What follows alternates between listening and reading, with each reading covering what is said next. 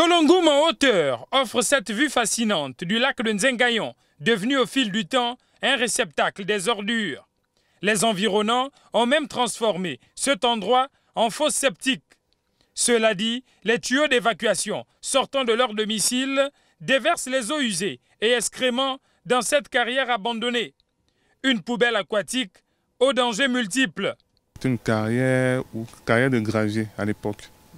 Donc euh, euh, la société qui s'occupait euh, notamment de, cela, ils ont creusé, creusé au point qu'ils sont, ils sont allés jusqu'à la nappe phréatique.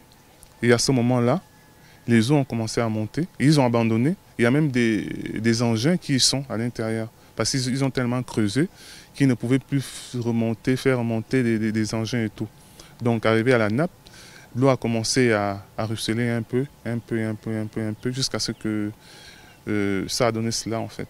Ce lac au caractère mystérieux a déjà absorbé des engins de génie civil déployés pour l'assainissement de cette carrière. Le danger guette également les enfants de ce milieu, dont on dénombre des cas de noyade. Face à cette réalité, l'accent devra être mis davantage sur la sensibilisation. La seule chose qu'on dit aux enfants, c'est vraiment leur répéter tous les jours de ne pas s'approcher du lac.